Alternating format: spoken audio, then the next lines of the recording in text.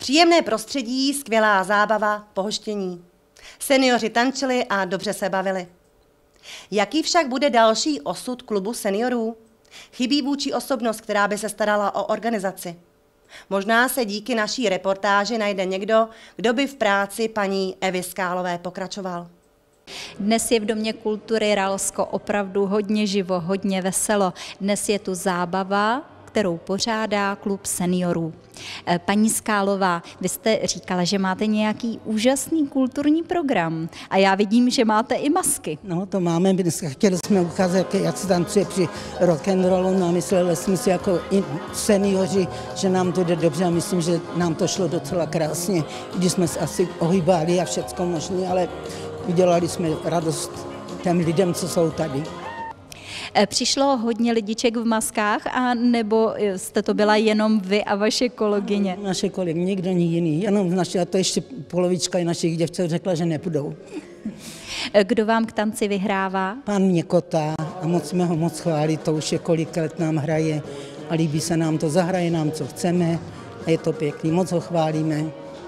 Eh, tyto zábavy pro seniory pořádáte pravidelně. Jak často? No, děláme to čtyřikrát do roka. Dřív jsme to dělali skoro každý měsíc, ale to jako bylo dost, dost pro nás těžko se na co. Tak teď to děláme čtyřikrát do roka, to máme posl- naposledy to máme v prosinci.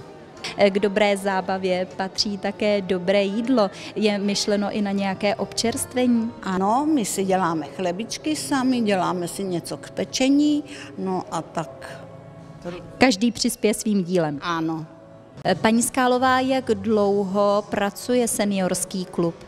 Seniorský klub pracuje přes 9 roků. A v tuto chvíli ale eh, máte nějaký problém, řekněte jaký?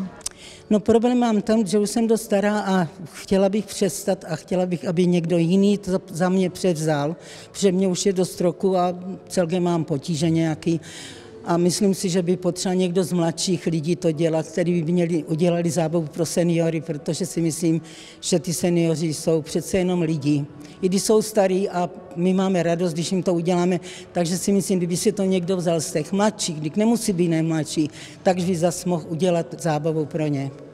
Myslíte, že by to mohl být někdo z vašich řad? Mluvili jste o tom? Mluvili jsme o tom nejednou, xkrát a nikdo to nechce. Nikdo to nechce vzít. Eh, zkuste teda, máte příležitost tady na kameru eh, požádat, poprosit, jestli by se našel někdo, kdo by se seniorskému klubu chtěl věnovat. Děkuji. No, chtěla bych říct těm ostatním seniorům, kdo by měl zájem.